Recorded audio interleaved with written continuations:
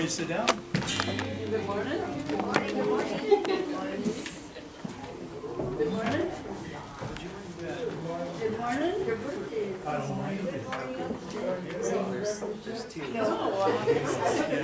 Birthday is. Uh, I don't mind.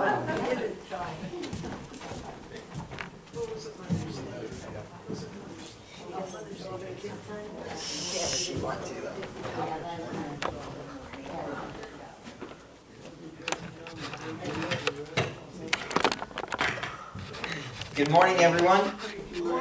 Good to see everyone here this morning on this uh, beautiful spring morning. There we go. Uh, a couple announcements uh, before we get into uh, praises and, and prayer requests. Uh, we're planning on having a workday two weeks from yesterday, so that's going to be uh, May 29th, and we'll uh, we'll nail down a time next Sunday. But that'll be that'll be two weeks from yesterday. Uh, just uh, a work day to trying to get things cleaned up in the basement is, is where we'll focus on, and just preparing for um, the uh, FCA camp that we'll be we'll be hosting uh, a couple weeks after that in June. Um, and Pastor is is still uh, working on recruiting people for for help there. There's there's a lot to do, a lot a lot of opportunity for um, helping both Saturday and then also as well on Sunday for the uh, FCA camp. So we'll continue to pray for that, and um, Pastor has a really good uh, good plan and definitely getting the right people in the right places. So there's a lot of answers to prayer with with just how um, people are, are stepping forward with, with the equipment, the facilities, um, and all that. So that's that's all been a tremendous answer, answer to prayer there. Um, does anyone else have any announcements? If- I don't have an announcement, but if they're cleaning in the basement, make sure you wear old clothes, because it's gonna be really dusty. Okay. Getting the cupboards cleaned out and don't wear anything nice. Okay. Bring your wearing clothes. Uh, now I know of two birthdays. Mrs. Dory's is the nineteenth, Wednesday. next Wednesday, this upcoming Wednesday. Yes. This, and then Mrs. Stanley's is today. Um, does anyone else would like to come forward before we sing? No one? Okay, let's let's sing happy birthday. Happy birthday to you. Happy birthday to you. Happy birthday, God bless you. Happy birthday to you. He happened to be ninety years old, that's Oh, 90 years Say it. old. That's a big one. a big one. Just like uh, and I were working on a hundred now. Oh, I don't believe so. Well, it's, that's incredible. Um, let's. Does anyone have any um, praises or, or prayer requests? I have a prayer Mrs. request Doris. that they called me this morning.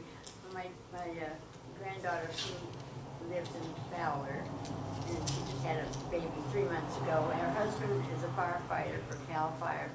They all, whole family came down with the virus. Oh, wow. And he's gone to the hospital, but they've sent him home already.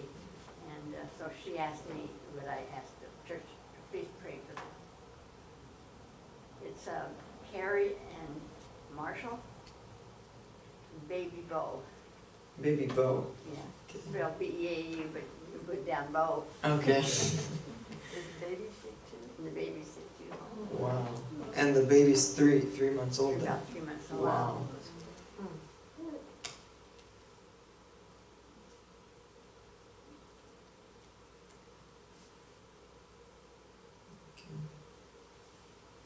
Galen called and said that uh, pray for him. His back went out yesterday and uh, could barely walk yesterday, but today was better. But then it started fe- hurting again. He said oh, Ruthie's doing better, but now now he's he's pretty bad shape with his back. Tom? Everything happens in threes, so here I go.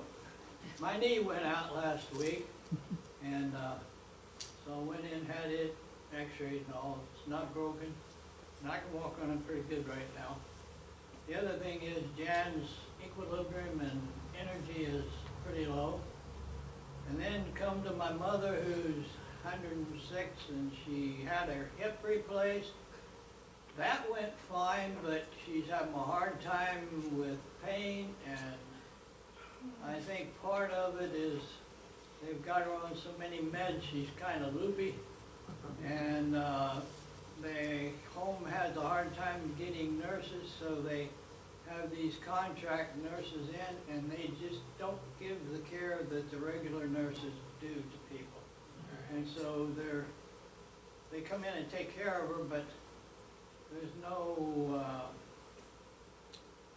no Christian care to her, you know, or anything like that. It's just the job.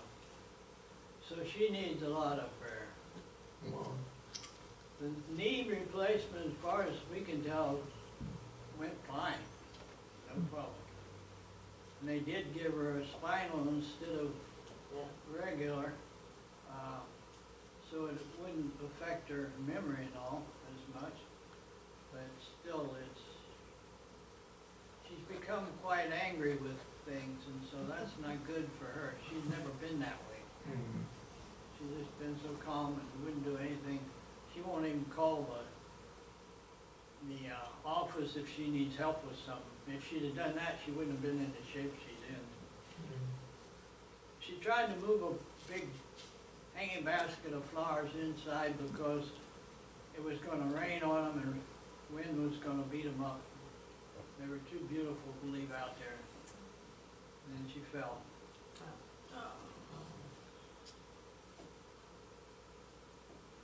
Didn't help any that her son told her the night before not to do it.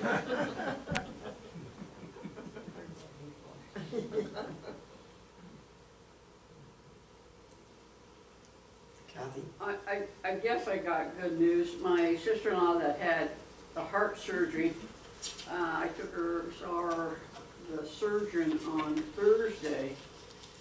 And the good news for her, the bad news for me, he says she's good for another twenty years. She's already ninety, so I won't make that twenty years.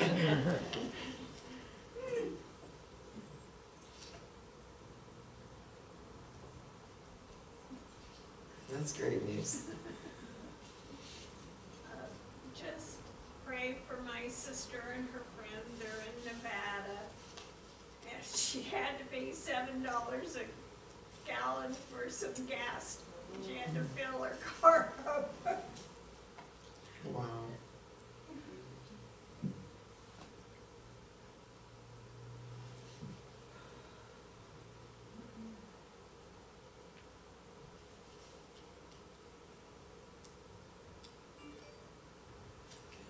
And keep my Aunt Cookie on your, uh, Joyce Weiss, again, she's in a nursing home and, and she's, uh, not very, doing well after her stroke and everything like that.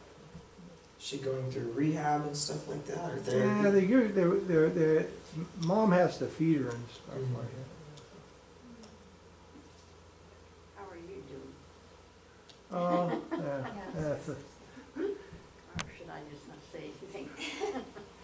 No, I, I, you pray for my hip. I gotta go see the doctor tomorrow. But Mary and I were on a bike ride and I crashed and ended up in the emergency. And they told me I fractured my hip, but, uh, but they said that, uh, it wasn't much of a fracture. So they said they didn't think they could do anything with it, like a pin or something. But I gotta follow up, so. It's, uh, I'm walking on it. It feels stiff, but it's, it's okay. It just looks ugly. You could use some prayer, right? I could use some prayer, yeah. I, I might get up and go to, get up and wet, yeah. Yeah, your pain tolerance is definitely a lot, lot better than mine, because I think if I broke my hip, I, I wouldn't be up and around as, as easily as you are. Um, Well, that ain't talent, but at least it's something. I would have to remember that on my list. Okay, um, before we before we pray, let's turn over to uh, James three thirteen and eighteen. Um, we'll, we'll read before we before we pray. James three thirteen through eighteen, and it reads, uh, "Who among you is wise and understanding? Let him let him show by his good behavior his deeds in the gentleness of wisdom." But if you have bitter jealousy and selfish ambition in your heart, do not be arrogant and so lie against the truth. This wisdom is not that which comes down from above, but is earthly, natural, demonic. For where jealousy and selfish ambition exist, there is disorder and every evil thing. But the wisdom from above is first pure then peaceable, gentle, reasonable, full of mercy and good fruits, unwavering, without hypocrisy. And the seed whose fruit is righteousness is sown in peace by those who make peace. Let's pray. Dear Heavenly Father, we just want to thank you for this day that you have given to us. Thank you for the opportunity to gather together before you and worship you. Uh, thank you for those that are here. Thank you for the, the good fellowship that we can have with one another in you. Thank you for that gift. Um, thank you for um, the encouragement that it brings and for um, the, the memories that it makes. Pray that we can, we can live each day um, our fullest unto you and, uh, and serve you where, where you have us. Just thank you for that. Thank you for enabling us to do that. Um, just pray that you would encourage and um, convict where we need it, each one of us this morning as we um, are here worshiping you. I pray that we would, would go from here um, further, um, further strengthened in you. Thank you for giving us the um, the instruction that we we need to uh, to serve you. Pray that you would um, continue to give us the strength to, to live our lives unto you. Just, just thank you for that. Pray for uh, Mrs. Dory's, um, for her granddaughter Carrie and her, her husband Marshall and their, their little one Bo as they've, they've all come down with um, coronavirus. Just pray for safety there and um, that they pull through it and um, be back on their feet in no time. Just thank you for um, for Marshall's work as a as a firefighter. Just pray that you'd keep him safe in that, protect him in that, as it can be a, a dangerous job. Just thank you that that he's doing it. But I just just ask that you'd you'd watch over them and they they look to you during during this time. Um, also want to pray for Galen as his his back went out yesterday. Just ask that he wouldn't be in any pain and that he could um, be able to, to get around again in no time. Just thank you that Ruthie is doing better, but just ask for prayer for Galen. Thank you for their um, diligence and their devotion to, to serving you. Just pray that they'd continue to, to have that same um, diligence of serving you um, every day. Just thank you for that example. I thank you that Tom's here this morning. Thank you that his, his knee is doing better. Um, ask for continued healing there. Um, also want to pray for Jan with, with her equilibrium being thrown off and her not having the energy that she usually has. Just ask for um, the energy that she needs to, to make it through each day there. Just thank you for her and um, for Tom as well, just for their, their lives of, of serving you. Um, and what an incredible testimony that is. Just thank you. Thank you for that example. I Also want to pray for um, Tom's mom as she's just went under uh, a replacement and um, after her, her bad fall, just with the, the deal with the, the, the nurses of having trouble getting full-time staff nurses there to to focus on on her and the, the other people that are there in the home that she's in, but having having nurses just kind of come and go and and not not receiving the uh, um, just the care that that a, a nurse would who would who would be there day in and day out. Just ask that that would uh, that would be resolved. Thank you for the the patience that um, Tom's mom has has had up until now. I just pray that you continue to to be with her and to comfort her and um, pray that they'd be able to get in some uh, full-time nurses to, to be able to to be a little bit more diligent and uh, uh, devoted to their patients and not just not just taking care of their physical needs and then and then being gone, but, but being there as as a as a as a good nurse would be in, in that time. Just pray for that situation. Just thank you for Tom's mom, um, for her um, for her gift and her passion of of gardening and, and growing things and um, displaying your creation in a, in a beautiful way. Just thank you for that. Thank you for uh, the example of of honoring um, our father and our mother in this case that Tom is is living out. Just thank you for that example. Pray that you bless him in a special way for that, and just just ask for your hand of guidance to to uh, to take care of that situation. Just thank you that uh, Kathy's sister-in-law is doing much better, and good news from the doctors there. Just thank you for her giving her the strength to, to pull through that. Thank you for being with the doctors there. Just ask that um, she would uh, she would seek you out.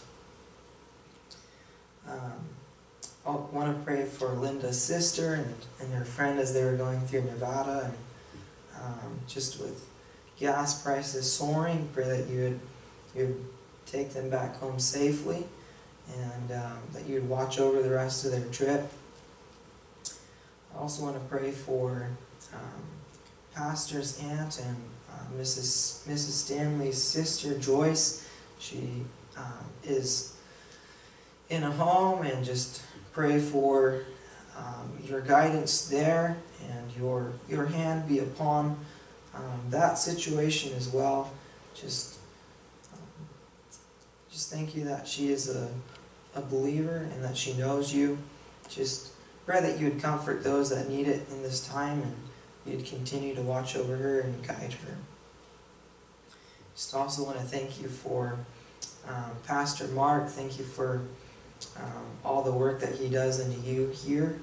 Just pray for his uh, for his visit to the, the, hospital and to the doctor that he has coming up to um, have a second look at his hip. Just pray that you wouldn't be in any in any more pain. Uh, just thank you that it wasn't any worse. Uh, just pray that you watch over him and that he'd continue to, to seek you out. And just thank you for for him and for diligently bringing the word. In Jesus' name we pray. Amen.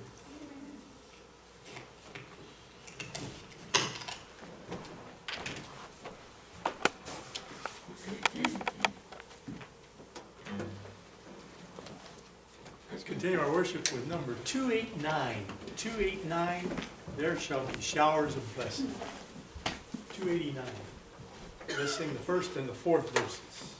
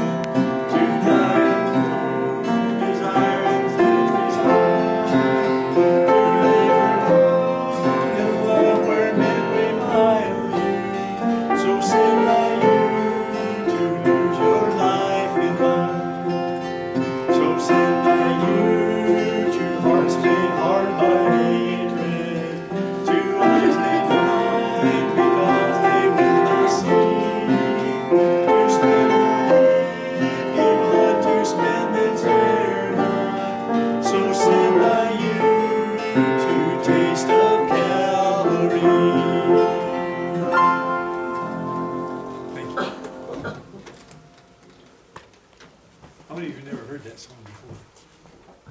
Just heard it. Yeah. Must have had you.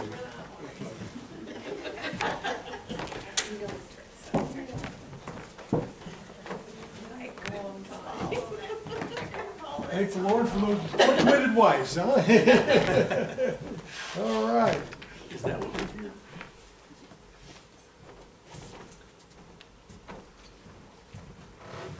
Okay, hey, I want to thank you for coming today. Welcome to church.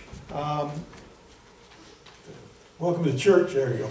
And um, I want to thank you for being here. Last time I preached, I preached at Mother's Day, so I kind of got off the book of Ephesians and I talked about how we should treat our mothers.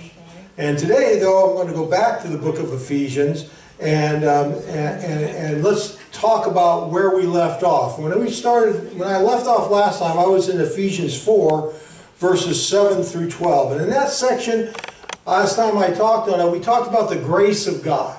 And the grace of God, thank you, Mary. I always forget to move that thing. And the grace of God is um, something that we all need. And it's not earned, it's not deserved, it's given to us.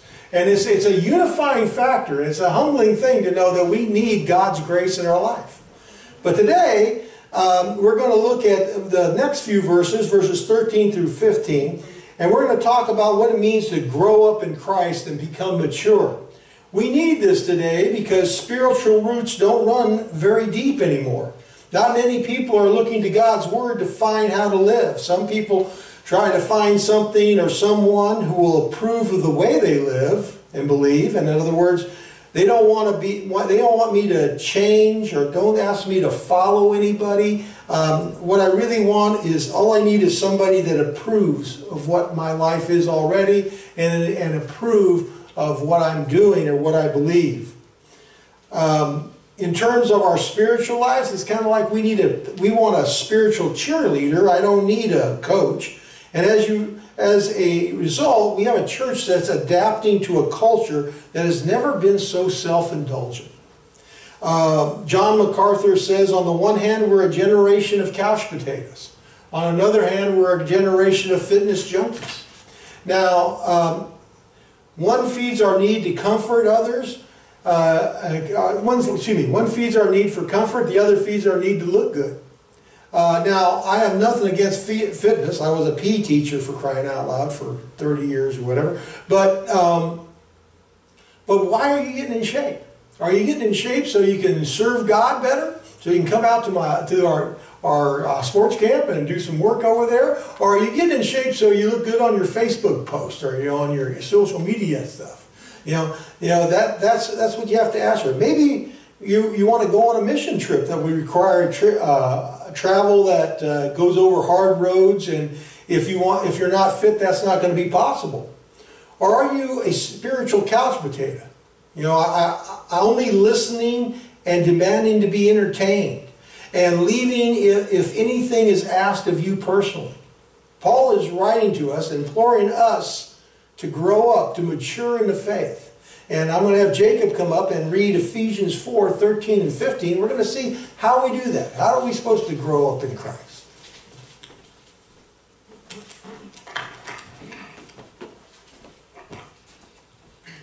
Ephesians chapter 4, uh, starting in verse 13 and reading through 15. Until we all attain to the unity of the faith and of the knowledge of the Son of God to a mature man, to the measure of the stature which belongs to the fullness of Christ.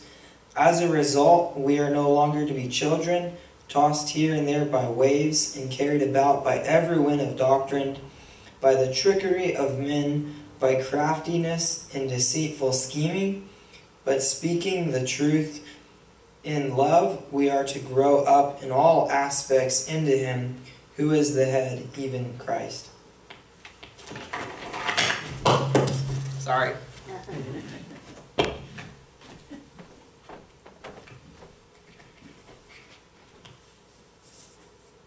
Okay, let's pray. Dear God, I just thank you for your word.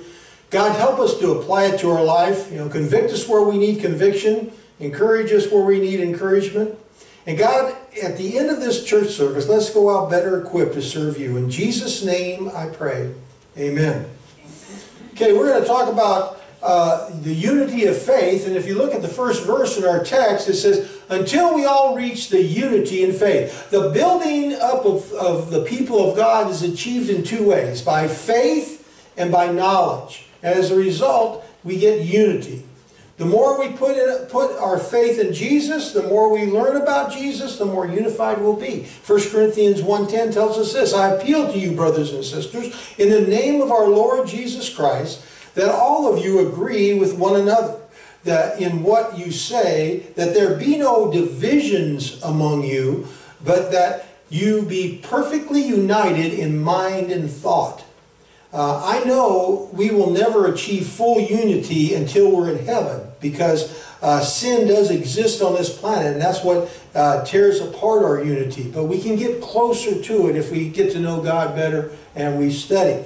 Um, God's truth is not fragmented. To the degree that we are fragmented, it is to the degree that we are separated from our we, we are separated from the faith in Christ. John MacArthur said, I think well, there can never be unity in a church apart from doctrinal integrity. So it's very important that as we study the Word of God, that we know what it says and we apply it to our lives and we don't try to change it or adapt it to the culture. The knowledge of Christ is so important. The end of verse 13 says this, and in the knowledge of the Son of God, and become mature, attaining the whole measure of the fullness of Christ. In Philippians 3.10, Paul wrote again, he said, that what is more, I consider everything lost because of the surpassing worth of knowing Christ Jesus, of my Lord, for whose sake I have lost all things. I consider them garbage, but that I may gain Christ and be found in him, not having righteousness of my own that comes from the law, but that but that which is through faith in Christ, the righteousness that comes from God on the basis of faith. I want to know Christ. Yes, the power of his resurrection, the participation of his suffering, be uh, coming like him in his death. Not that I've already obtained this, or I've already arrived at my goal, but I press to take hold of that which Jesus Christ took hold of for me. You know, you know, it was all about Paul said, just give me, give, let me know Christ. It's interesting. He not only uh, Oh, he wanted to know the power of the resurrection, but he wanted to share in God's suffering. He was, he knew, and I think hope all, all you do. You have this keen awareness, that when you get to heaven, that's where the rewards really go. this old body stops, you know, breaking and hips and joints and everything gets breaking and God is going to be our pastor, Jesus. So you're not going to go to church and say, I don't know if that guy's right on that one. No, when Jesus said it's right, hey, yeah, we're all unified on that. That's good. So as a teacher, they will always we, they always told us you, you have to be a lifelong learner. I'm sure Bob has heard this. As Christians, um, the same the same is true. The difference is teaching. Uh, the different in teaching there's always a change or new techniques or sometimes new material but in christianity there's no new material it's the bible and it, it, doesn't change. But there is new revelation as you study the word of god. The, uh, well, the spirit applies it to your life. You see thing uh, you see things and understand things you've never seen before. It never ceases to amaze me when i see somebody and they talk about a piece of scripture. Wow i didn't know it said that. Ooh, man, I, I didn't think about it. I didn't you know, that kind of thing. Uh, in Ephesians 1.17 it says this, I keep asking that the, God, that the God of our Lord Jesus Christ, the glorious Father, may give you the spirit of wisdom and revelation so that you may know him better. You know, we live in a world that is spiritually ignorant. And the worst yet, they're unwilling to learn. And as a result, even in the church, we have more and more people divided. Some of us grew up on Sunday morning, Sunday night, Wednesday night, but today it's Sunday morning. And probably what would be more accurate, it's some Sunday mornings. And the center priest, though, of a church has to be the Word of God. We have to teach the Word of God just as it says. We don't change it for culture. We don't arrange it for people to make them feel better. This is the Word of God. That's the most loving thing you could do. It says in Colossians 1, 9 through 10, it says, For this reason, since the day we heard about you, we have not stopped praying for you. We continually ask God to fill you with knowledge of His, of His will through all the wisdom and understanding that the Spirit gives so that you may live a life worthy of the Lord and please Him in every way, bearing fruit in every good work, growing in the knowledge of God. You know, it isn't uncommon for a new believer to kind of see Jesus as a spiritual butler, and they kind of get, they'll, they'll get um, disillusioned or disappointed if they don't get what they want. Because the great motivation of a baby is what? Themselves. They don't care about anything but, you know, I have three young grandchildren, and they haven't really they're getting there, but they, they haven't learned to yell, well, what about you? Are you okay? Is it, no, milk, you know, and, and whatever they want. So, um, so, you know, so it is with young Christians. The only thing that is important to, is what God can do for me and, I, and what I want. If the church preaches God's word and I don't like it, the solution has been go to another church where they don't convict me. They entertain me. Make no mistake, God calls us to do this, to, to have spiritual maturity. The application of spiritual knowledge, when you learn what you're supposed to do, is wisdom. But how can you believe if you're not taught? You know, when I went to Liberty University, I was told, because I came in at semester from junior college, they said, you're going to have to take a Bible aptitude test. And I thought, how hard is this going to be? You know, who built the ark? You know, I mean, you know, who, you know, who, where was Jesus born? I took this spiritual aptitude test, and by the time they got done with me, I was only, you know, qualified for like remedial Bible, and and, and they they put me in every Bible test you could think of. I looked like a pastor's major. I, I was a was a business major, but I don't even know if I had one business class that first semester. It was Life of Christ, Paul's Epistle, uh, Old Testament survey, New Testament survey, boom, boom, boom, boom, boom. And I loved those classes. But and it was a good thing. But it says in 1 John 2, 6, whoever claims to live in him must live as Jesus did. Whoever claims to live in him must live as Jesus did. I had a friend send me a thing on Jesus, and he said, you know, if you measure your life by the, by the earmarkings of the world, you know, power, money, prestige, you know, popularity, if you looked at Jesus' life, you'd have to, you would, if you, if that's the measure, you'd have to say he failed. You know, as far as power goes, everybody turned on him. And they put him on a cross, and, and he had a lot of fair weather friends, but at the end he only had a few. As far as as as uh, prestige, you know, he had prestige, but he was shot down by the people that had power in the religious community. In terms of money, he said he said it himself. You know, foxes have holes, birds have nests. I don't even have a place to hang my head. And then, but yet, at the end of it all, he was the biggest success story of the entire world. But you can't measure him by the world standards. He changed people's lives and hearts and give them peace and love and joy. So, as you can see, God expects us to grow in Him. Babies are cute when they're, but when they're 21 years old and they're still acting like a baby, they ain't cute anymore, right? So, in 2 Corinthians 3:18 it says, "And we will, we all who with unveiled faces contemplate the Lord's glory, are being transformed into His image with ever increasing glory, which comes from the Lord, who is the Spirit." You know, apart from the Spirit of God that lives within me, when I receive Christ, there can be no growth. You know, I've had people tell me, I read the, I read the Bible, I didn't get anything out of it. And they, but they read it from the perspective, I don't believe in God. Now, I don't believe they didn't get anything out of it, because the Bible says the Word of God is quicker and more powerful than any two-edged sword. But if you, but if you have the Spirit of God living in you, well, He makes that stuff alive to you.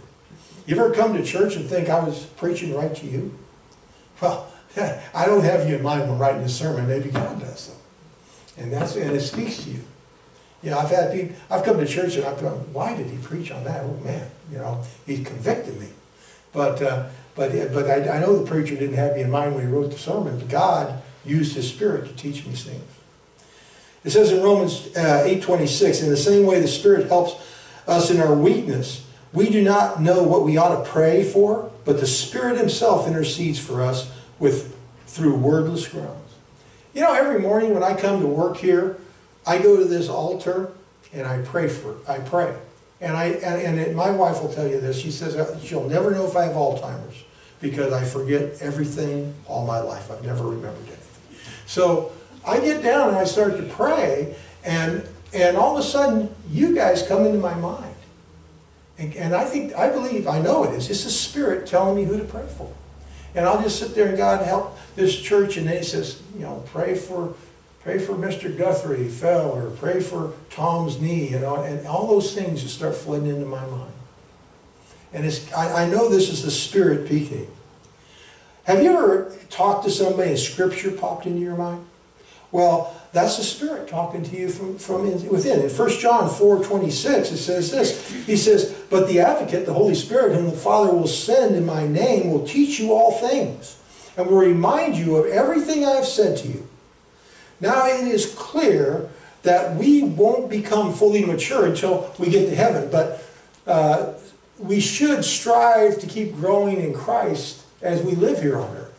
In Romans 10, uh, 7, 14, it says, We know that the law is spiritual, but I am unspiritual, sold as a slave to sin. It is a burden that we have on us that we live on a fallen planet that is, is, is a sinful place. We'll get to heaven and that'll all be taken care of. But right now, we deal with that. Don't worry though. Graduation day is coming when sin doesn't affect us anymore. In heaven, our knowledge will be complete. In Romans 8:23 it says, "Not only so, but we ourselves who have the first fruits of the spirit groan inwardly as we wait eagerly for our adoption to sonship, the redemption of our bodies." Man, if your body's hurting, I bet sometimes that old soul's groaning. I can hardly wait till I get out of this old body and I get up there with Jesus. You know, and, and when I get with Jesus, I'll get this new body, and there's never going to be any pain anymore, and it won't get any older. You know, isn't that beautiful? Somebody said, "How old do you think we'll be in heaven? What's the perfect age?" I don't know. You know, I I, I don't know, maybe 20. I don't know, but uh, I hope I knew more than I did in 20. No, but that's the way.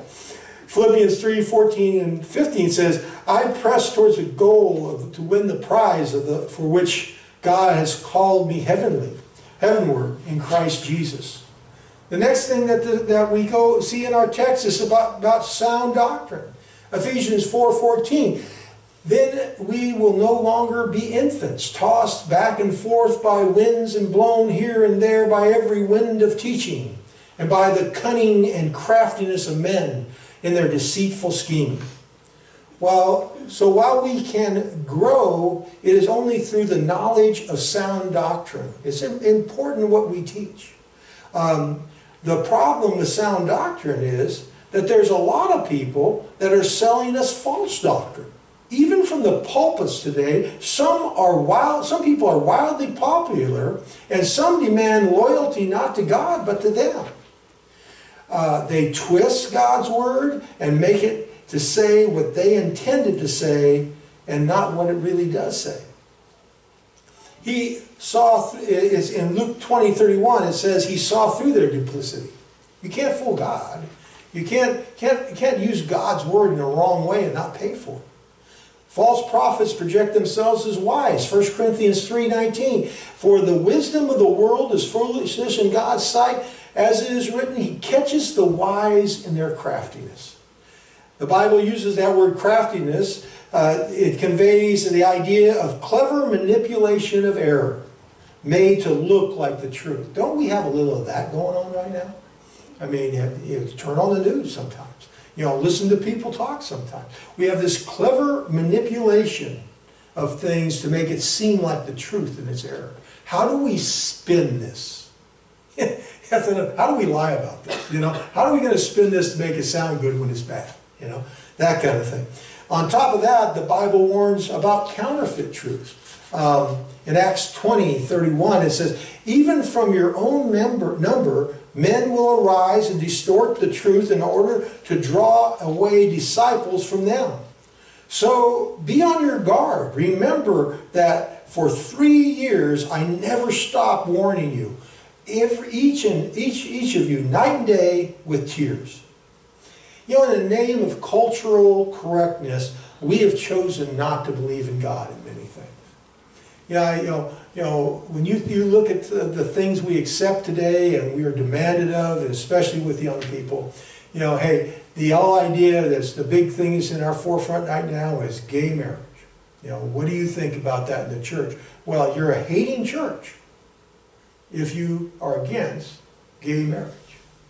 Well, now, this is more of the, if you read Romans, it says that fornicators, adulterers, and people that, that participate in things like, like a gay lifestyle, it says there won't be any place for them in heaven. There's, and so it's better, I guess they believe, it's more loving to let them go to hell than to preach that, hey, God loves you. I was listening to John MacArthur talk, and he, he got a call, and he was asked to come to a hospital bed of a man that was dying of AIDS. This was early in the 90s, and he went to the AIDS, and a lot of his friends were there, and he was, he was dying of AIDS, and he had gotten it from a gay lifestyle. And he said, Pastor, I don't know if I'm going to heaven. And MacArthur grabbed that boy's hand, and he said, God, just, he's, take this man and clean his heart and help him to go to heaven. And that kid, he said, I repent and I give my life to Christ. He lasted a couple more weeks, but all his friends that were with him left him after that. He was deserted and shot. And he left in the, in the hospital to die knowing where he'd go spend eternity in heaven.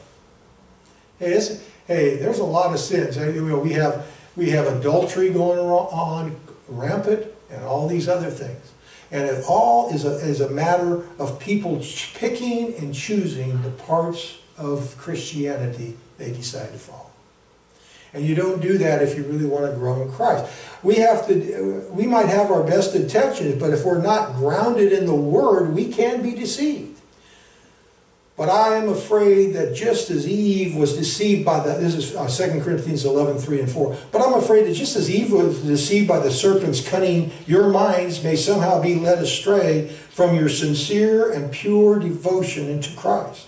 For if someone comes to you and preaches a Jesus other than the Jesus we preach, or you receive a different spirit from the spirit you receive, or a different gospel from the one you accept, you put, know, you, you put up with it easily enough.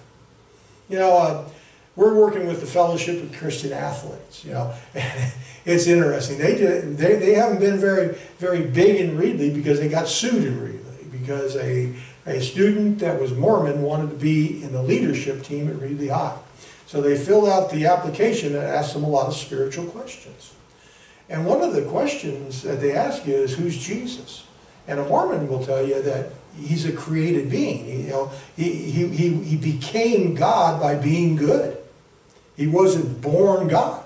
He wasn't God robed in, robed in flesh. And so they denied that person's application for leadership. They said, yeah, you can come to FCA, no problem. But you can't be a leader in FCA. And so the parents sued. They didn't win, but they sued. And so, you know, you have to be aware of this. I mean, in the Mormon church feels like they should be part of the Christian fellowship. But if you don't say Jesus is the Son of God, if you don't see Jesus as the Christ and the Son of God, if you believe you could be equal with Jesus if you're good enough, you're, you're not reading the same gospel I'm preaching to you. And so, and so, you know, we need to understand the Word of God because we're going to be challenged. And they're always going to throw this in your face. Yeah, you know, if you're loving, you let us come in, just the way we are. I let anybody come in, but I'm not changing the Word of God for you. It's got to be the, the Word of God. So our lack of sound mind may cause us to fall prey to the gospel. And one of the more popular gospels is kind of that Oprah Winfrey gospel. And Oprah will tell you all, lead, all roads lead to heaven. Uh, with no knowledge, uh, that, that seemed, with no knowledge of the scripture, that seemed very palatable. You know, nobody's going to say God is the way, the truth, and the life. No one comes to the Father except through me. And so, and, and so this self-indulgent generation that we find ourselves in, a gospel that doesn't require anything of us, or even require that we surrender to Christ, but it keeps us in the driver's seat uh, that's the most palatable thing for the world today. I just want to have somebody that doesn't tell me what to do. I, I'm okay with them approving what I do, but don't tell me what to do. Galatians 1, 6 through 6 and 7 says, I'm astonished that you are so quickly deserting the one who called you to live in the grace of Christ and, and are turning to, diff, to a different gospel, which is really no gospel at all. Evidently, some people are throwing you into a confusion and are trying to revert the gospel of Christ. You know, there's a lot said about today. is a lot of people like prosperity gospels because it says, if you want it, pray for it, you got it. And, and, and this is coming from Jesus Christ who said, foxes have holes, nest, birds have nests, I don't even have a place to hang my head. This is coming from a, a, a Jesus that didn't, didn't run around in a Rolls Royce. You know, there was a pastor I was listening to, and he said, I know God wants me to have this $64 million private jet, and I can ask for it if I want. Well, he's right, you can ask for it if you want. I don't know if God really wants you to have a $64 million jet, but, you know, I don't think so. You know, that's not your focus. Our focus is to know Jesus better. Study the Word, know the truth. Nothing surprises Jesus, and if, you, if we know the Word of God, we know false prophets are coming, like bad telemarketers that get your money. These false prophets worm their way in and cause divisions. The first question they ask is, what do you think? That's not the first question this church should ask. They say, the first question should be, what does the Bible say? First, uh, 2 Peter 2, 1 and 3 says, But there were so also false prophets among the people, just as there were there will be false teachers among you. They will secretly in, introduce destructive heresies, even denying sovereignty, uh, sovereign Lord who brought them, bringing swift destruction to themselves. Many will follow their deprived conduct and will bring the way of, uh, and will bring the way of truth into disrepute. In their greed, these teachers will exploit you with fabricated stories. Their condemnation has long been hanging over them, and their destruction has not been sleeping. Their destruction has not been sleeping. You know, it's scary to think about seminaries today that have gone so liberal they deny the, the, the, the inerrant word of God or the infallible nature of Scripture. There's some good, good seminaries out there. There's also some seminaries that were really good that became really bad because they allowed seminary professors to get in there that didn't believe the Word of God. And we gotta, I gotta caution you, is that you really need to look at what you, what you read and who, who's writing it and where they're from and what they believe. You know, um, the condemnation has long been hanging over you, it says in that, in that, chat, in that verse, and their destruction has not been sleeping. Yeah, you want you ask me, why do we have so much scandal in the church today? You know, you see these high high churches have people fall. Well, I think it's answered right there. Jesus isn't going to let this go on. What does it say? Hey, their condemnation is long been hanging over them, and their destruction has not been sleeping. You know, if you're a man of God and you're going to pervert the gospel or you're going to live away contrary to what you preach, be careful because your destruction is coming. And it's going to be public. You know, I saw, you know, I, and, and let me make this clear. Men of God can fall, they're human beings, and they can repent and ask for forgiveness. That's true. But it isn't true that you can go up there and preach week after week and live in sin and in sin. You're going to be found out eventually. You know, the Hillsong Church is one of these big churches. I really like their music. But they've really had some problems with some pastors that have got themselves in, in sexual situations that have caused them to be dismissed from their church. And you know, I, in my own, unless I be fair, you know, even at Liberty University, kind of a pillar of, of conservatism, their, their founder, uh, son, Jerry Falwell Jr., got himself in trouble and he had to be dismissed from the college and because he wasn't living a, a wholesome Christian life. But he was found out. Yeah, and this is just my two cents. I don't, I don't, I have a problem if you're on, the, if you're in a, in a pulpit and you're earning a million dollars or, or, or 500,000, all these huge numbers. I don't think God ever intended you to get rich as a pastor. You know, and don't worry, I'm not close to that yet. So, but, uh, but, but God never intended you to get rich as a pastor. And, and people that pastor to get money, and eventually, I think that catches up to them, and God's not pleased with them. And I think I see a lot of people, when I look at the people that fall, they're people that have huge incomes. And I wonder about that. I wonder if God's pleased with the fact that, that, that I, I love Rick Warren, but I think one of the good things Rick Warren did as a pastor is he made this book. It sold you know, more copies than almost any other book except for the Bible. uh, and he became a reverse tither. He gives 90% of his earnings to the Lord and he keeps 10% for himself. Uh, and he doesn't take a salary from his church. Now, I think, hey, maybe that guy's got to figure it out that money might cause problems. And, and, he, and he has a very effective, effective ministry. And finally, the result of living a life in faith is authentic, loving testimony. This kind of love is honest. It may cost you some friends. Galatians 4.16 says, But not, have I now become your enemy by telling you the truth? Sometimes people are going to be mad at you if you tell them the truth. Many mature Christians, uh, a mature Christian doesn't intend to offend people, but refuses to be a compromising his walk with Christ. As Christians, you will be challenged in a variety of ways, and compromise seems to be much better than confrontation. How we speak, the language people use to relate to them. See, I see a lot of coaches that let foul language fly out of their mouth. And they're trying to fit in with the kids because they use the F word and God's name in vain and everything else.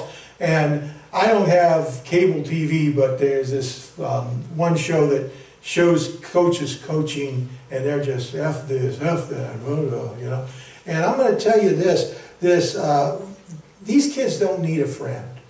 They got friends. They need role models. And hopefully at our, our camp, we're going to give them role models. People that don't try, you know, I, don't, I think it's pathetic if I'm 62 years old coaching football and I try to be a kid. You know, who am I kidding? They need a role model. They know I'm old, and I should talk appropriately. I wish I were sixty-two. Yeah. In the authentic loving testimony, Ephesians 4.15 says, instead of speaking the truth, instead speak the truth in love, we will in all things grow up into him who is the head, that is Christ. However the world responds to us, we respond in love. It can be exhausting to serve people who don't appreciate what you're doing for them. Authentic love, though, is the only way to evangelize the non-believer. It doesn't compromise the truth. Uh, in Thessalonians 7, 12 through 13, it talks about the fact that the, the, the, missionaries went out and they said, I work night and day not to be a burden to you. In other words, they went amongst the, the non-believers, they took another job, and they, they got their own money, so they didn't have to ask them for anything. They didn't accuse them be, be after their money, and he preached. How does this all apply to us in 2021? Well, the world needs a mature Christians. We are living in a self-centered uh, culture, and the opposite of maturing in Christ is living for yourself. We need people who ask, what does Jesus want me to do? It doesn't always feel good. It isn't always comfortable. It isn't going to make you popular. But it is going to give you a life worth living. It's going to fill your heart with joy. The world is becoming increasingly ignorant to God's Word. What they know about God is not from reading His Word, it's listening to others who have no knowledge of Christ and what they see it as. The world seeks to have power and not to submit to God's law and way of life. We're going to reach out to this community in January, on June 12th and 13th. And there's some jobs back there. And I want you to sign up for those. Because I believe the most, uh, we are in the midst of the most godless generation in history of America. And it's time for Cornerstone Church to step up and love this community and make available good sound teaching to grow their faith. Let's do the work that we're called to do. And let's let God pray, and, let's pray that God will make us um, able to do this. You know, um, a bunch of those jobs are prayer. Don't take them lightly. I want to see what God will do in this congregation if we bathe it with prayer. There's even a day we're going to have of fasting and then if you can fast and pray, some of you have dietary problems, don't if it's that. But if you can do it, do it. And we're going to pray. I'm going to ask some of you can be like crossing guard workers to get them over to Washington back. We need people to cook the hot dogs. We need people to uh, to sign people up. We need people to give water at the place. We need all of you exactly. And I hope you can be there, and I hope you'll help us. God is working already. Mary always goes, Mark, Have you got any volleyballs yet? Mark, have you got any? He always tells me the things I need. And so I, but, you know, she tells me that. But thank God for her because she's right. I need to figure, I need to worry about that.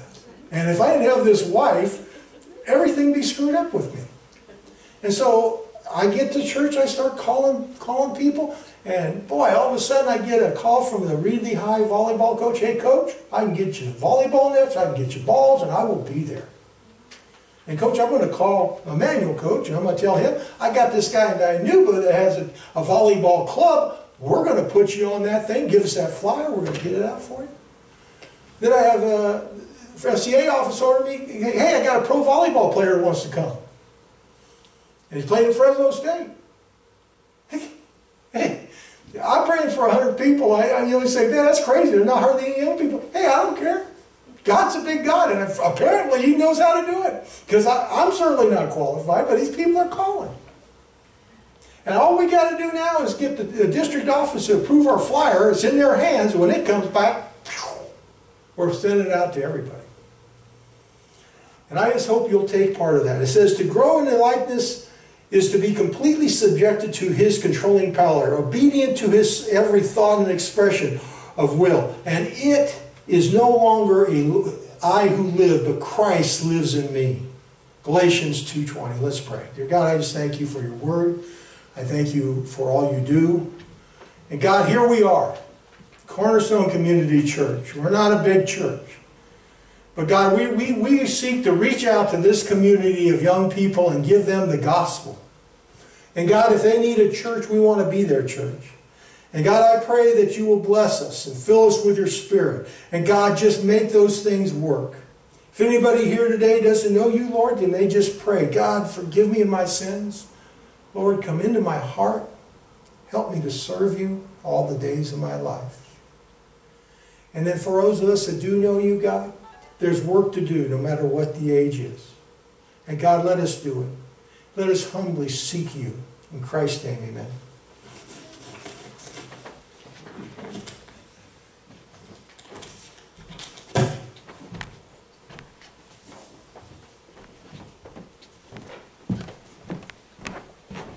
Let's close the service with uh, 341, Lord, I'm coming home. 341. Let's sing the first and fourth verses. 341. Let's stand and sing. I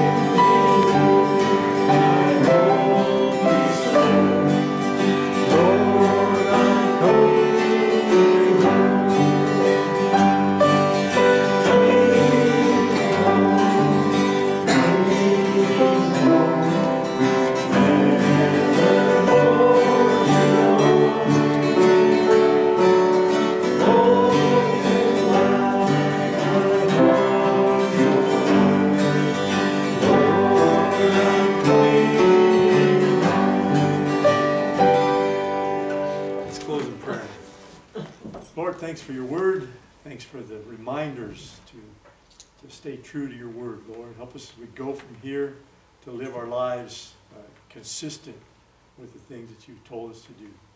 Help us to be faithful in our, in our ministry. In Jesus' name, amen.